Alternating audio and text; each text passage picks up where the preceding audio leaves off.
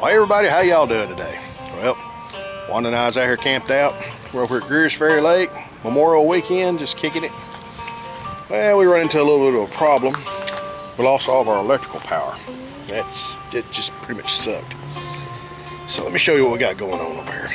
Uh, you go over here to the our electrical panel, and we ain't got nothing. There's where we normally plug the camper into, but breaker's just all screwed up, it's fried out, whatever. So, so that would have normally pretty much uh, brought our camping situation to a screeching halt because, I mean, hell, you can't camp if you ain't got uh, cold beer and you know, we got fish in the in the fridge that we're gonna do a fish fry tonight, you know, and shoot, man, if we can't keep that stuff cold, that ain't worth a darn. But in uh, true redneck spirit, uh, we pondered on the situation a little bit. Of course, we're camped out here with some other folks, and uh, we come up with a little solution here that, uh, by golly, only rednecks can come up with this kind of stuff. Let me show you what I got. There's where my power cord comes out of my camper there. And normally it would go over here to the pedestal, which is dead.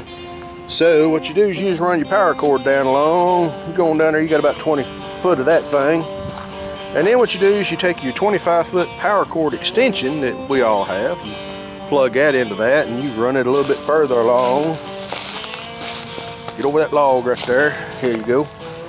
And then you go over and you borrow your neighbor's 25 foot extension. You plug into that and you run it along a little further.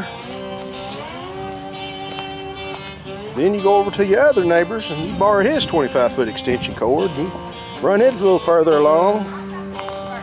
Get over by the boat trailer. Look out, boat.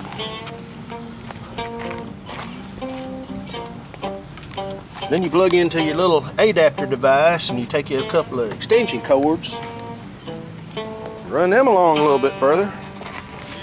Then you go over here to your neighbor and you plug into his stuff and rob his power.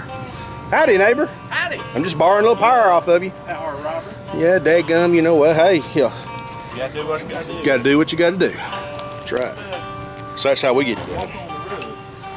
By golly. You about ready to cook some fish? Uh, that's what Tony and I were just talking about.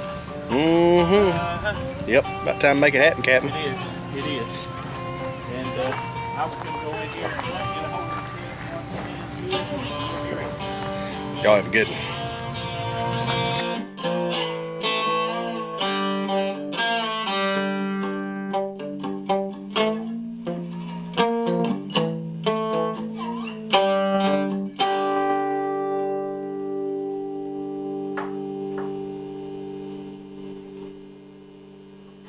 Probably the same song I played last